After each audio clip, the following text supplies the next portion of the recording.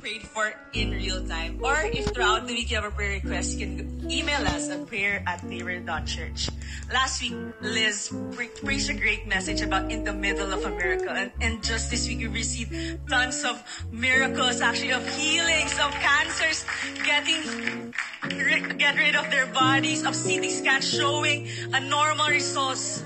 And you know what? Praise God for that. Praise God for that. But you might be here and you're thinking, I'm, you're still in the middle of a miracle.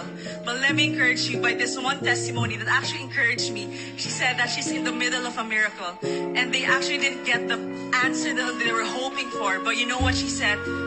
But I actually felt so at peace because God was with, with me. And that was the biggest answered prayer for her, knowing that God was with her and that God gave her the strength to accept the situation and to continue to believe that God will come through for her, that God will fulfill the promise that He had for her.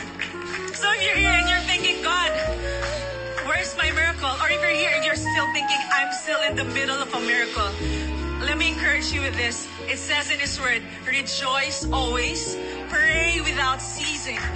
Give thanks in all circumstances because this is the will of God for you. And I want this for all of us right now that when we say rejoice always, it's not ignoring your situation. It's just shifting our focus. You know what, God? I'm going to continue trusting in you because you're in the middle of my miracle. Your presence is going to carry me through. And I will continue to believe that you are the God who will keep your promises and you will fulfill the miracle that I'm hoping for. So if that's you, can you raise your hands so I can pray for you? God, you know our hearts. You know the desires of our heart. You know every person here going through something, going through struggles, who are just in the middle of a miracle, who are just a wall ahead of their breakthrough. God, I pray that you will let your presence just fill their hearts, God. Let your love fill their hearts. Let your comfort be in their houses, God. Let your presence just overflow.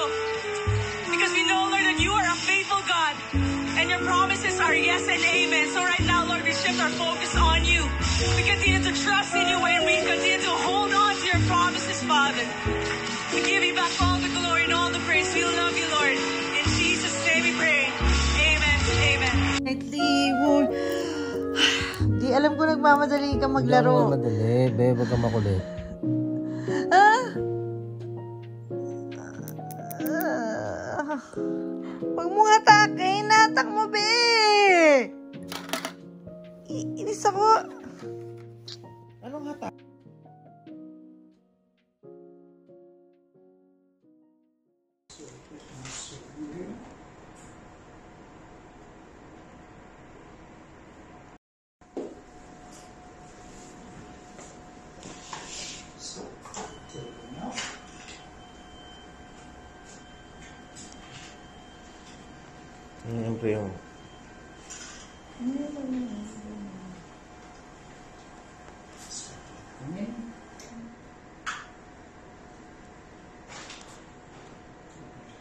Yun.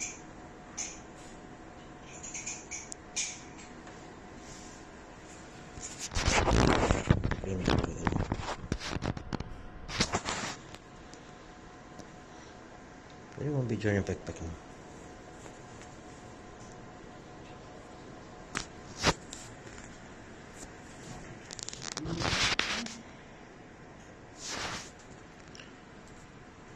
Pag nakita ko masarap ang kasampalin kita. So, kagigising ko lang. Tingnan niyo kung sino nandito sa gilid ko. Hanggang mamaya yung susunod sa akin. Diba? Good morning.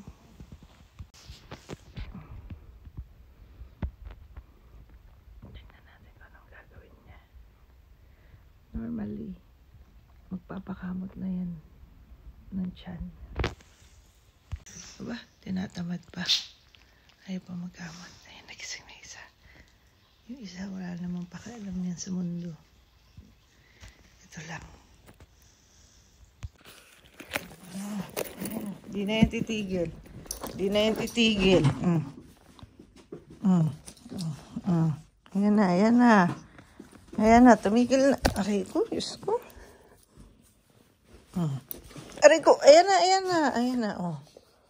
Oh, oh lakas mo ah. Ayan na.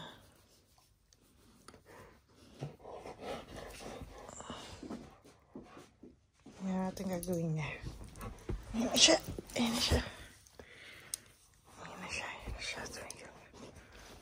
Pag hindi, aray ko! Pag di mo siya pinat, kaya pipitin ko rin kamay mo. Ayan na, ayan na, ayan na, ayan na, ayan na. Ayan na, ayan na.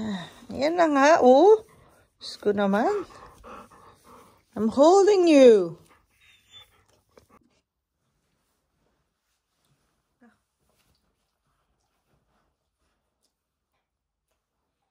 Mga aso mong clean, Diyos me.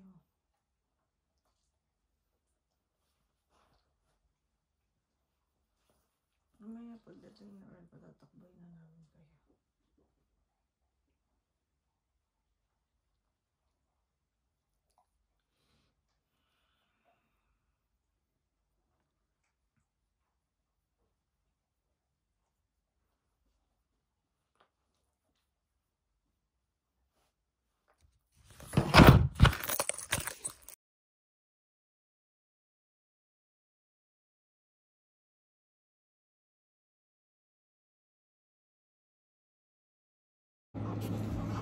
Ano sabi? Ha? Ano sabi? Hmm. Ba't umiyak? I was shocked. I was very shocked. Did you cry? Did you cry too? Kaya ako umuwi. Dapat mamaya pa ako in city. I was gonna ask you, but I said I won't pressure you to come home. Sabi ko kay Mark, ano maganda ano ka? Sabi ko, Mark, ikaw naman mag-stay back, hindi mo pwede mag-stay back. Sabi niya, ano nangyari kasi nag-aano mo ako? Nagumugtog, sabi niya. Hindi mo, buntis yata siya. Sabi niya, Sabi ko siya. Sabi niya, sige ako mag-stay back. Stay back mo lang ako Wednesday tsaka Thursday.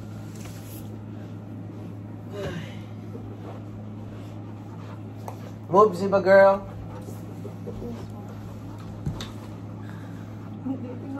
Today. Hindi tingnan ko eh. Mali ba yung tingin ko? Baka nandun Di ba dapat ba, ano, solid line? Pero ba't malabo? Hindi. Diba dapat, diba dapat, Ano siya kanina? Cross. Isang linya lang kanina siya. hindi actually, nung nagtas ako, sabi ko, hindi ko matitingnan kasi dapat one minute or more.